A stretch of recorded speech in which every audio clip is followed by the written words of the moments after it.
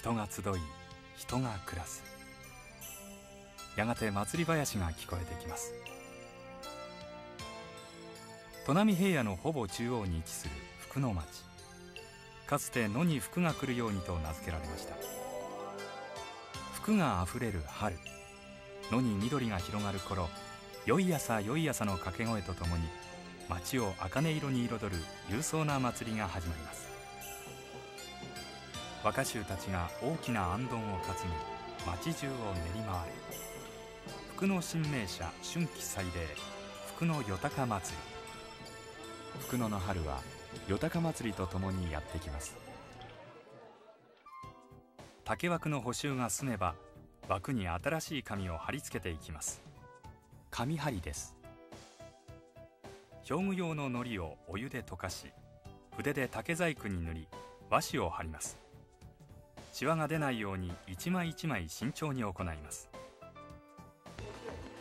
組み立てです。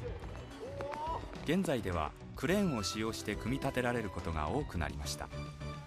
この日の組み立ては雨の中での作業となりました。斜めに倒された台の中心に辛抱を通して金具で台に固定します。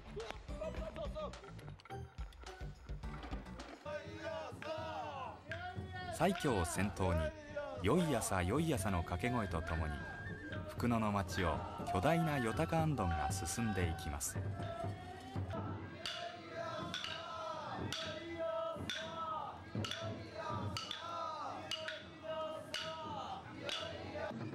行灯が出発して最初に向かうのが新名車です。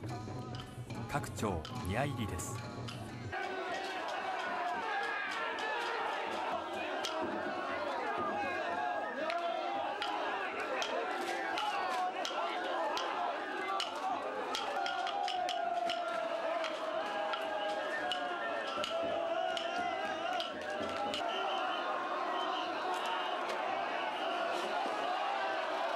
最後に来年の当番祭挙の引き継ぎが行われよたか祭りが終わります。